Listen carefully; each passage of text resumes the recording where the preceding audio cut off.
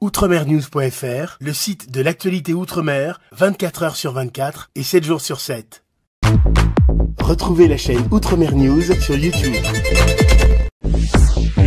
Hexagone, actualité. La parole est à Monsieur Christian Bastiste pour le groupe socialiste.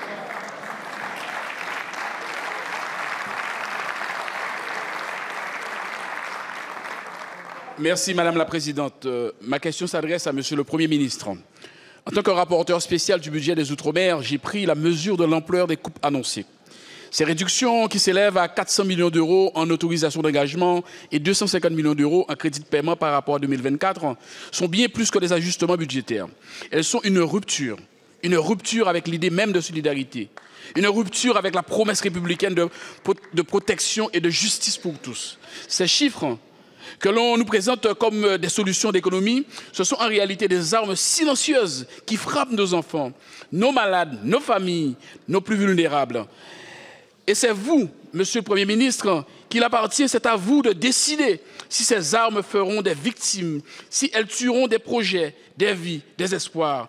Comment, dans un pays qui se revendique solidaire, accepter que près de 60% des élèves ne sont accueillis dans des bâtiments aux normes? Le plan séisme censé garantir leur sécurité, est aujourd'hui réduit en peau de chagrin. Et ce n'est pas tout. La réduction des aides aux fret qui affecte avec l'accès aux, biens de première nécessité va briser davantage l'accès aux biens. Oui, va briser davantage les épaules de nos populations qui luttent contre la vie chère, l'isolement géographique et l'inégalité. En coupant ces aides vitales, vous condamnez des milliers de familles à souffrir encore plus. Monsieur le Premier ministre, j'ai fait mon travail. J'ai interpellé vos ministres, ministres en charge des Outre-mer, ministres chargés du budget et des comptes publics. J'ai porté des amendements, j'ai mené un dialogue, mais aujourd'hui, la décision vous appartient.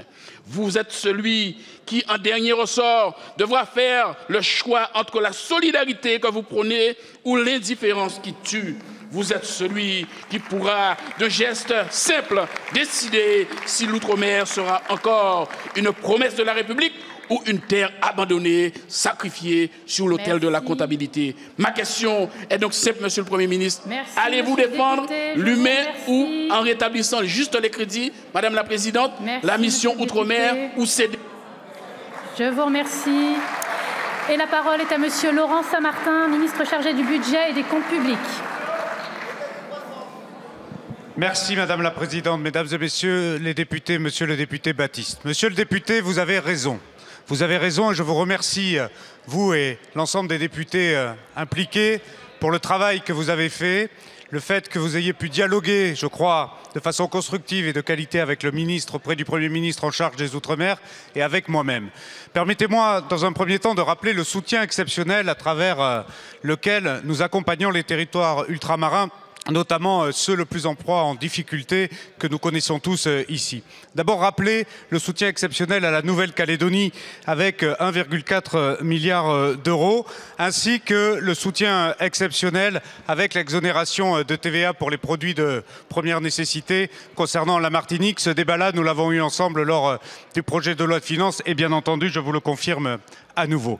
Mais en l'absence du ministre des Outre-mer aujourd'hui présent en Martinique, Permettez-moi de vous dire également ce sur quoi nous voulons avancer en termes de préservation des crédits pour euh, les territoires ultramarins.